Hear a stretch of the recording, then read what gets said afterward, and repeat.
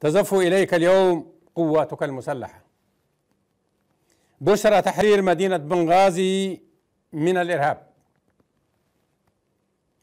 تحريرا كاملا غير منقوص.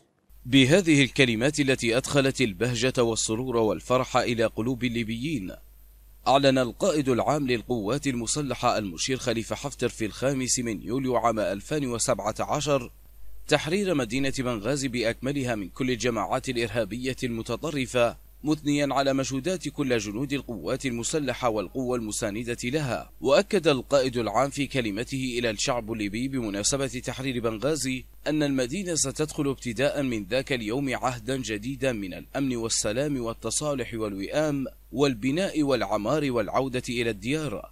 بعد أن كسر قيود القهر والذل وحواجز الخوف والرعب التي سعى الإرهاب إلى بنائها في نفوس الليبيين لتحل محلها مشاعر الطمأنينة والسرور والأمل والثقة بالنفس ورسم الطريق نحو المستقبل. وفي الذكرى الثالثة لتحرير بنغازي يلتمس المواطن ما تعاهد به القائد العام في ذلك الخطاب لتستعيد المدينة بالفعل أمنها واستقرارها الذي فقدته بسبب الجماعات الإرهابية والمتطرفين.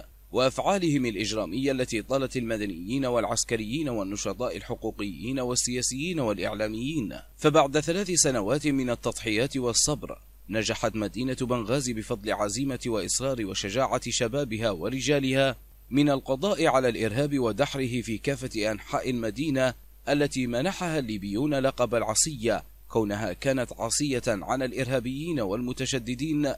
الذين حاولوا السيطرة عليها وضمهم تحت راية التكفير. تحرير كامل مدينة بنغازي من التنظيمات الإرهابية وكسر شوكتهم الذي شهد عليه العالم أجمع وأشادت به كافة الدول والجهات والمنظمات المحلية والإقليمية والدولية. جاء بعد ثلاث سنوات من انطلاق ثورة الكرامة في منتصف شهر مايو من العام 2014 وعقب إعلان القائد العام انتصار الجيش الوطني وتحرير المدينة من التنظيمات الإرهابية المتطرفة شهدت مختلف أحياء وشوارع بنغازي تظاهرات فرح عفوية شارك فيها الأهالي من الرجال والنساء والأطفال ابتهاجا بإعلان تحرير مدينتهم وانتصارهم على الإرهاب وطرده. لقناة ليبيا الحدث أبو بكر يحيى.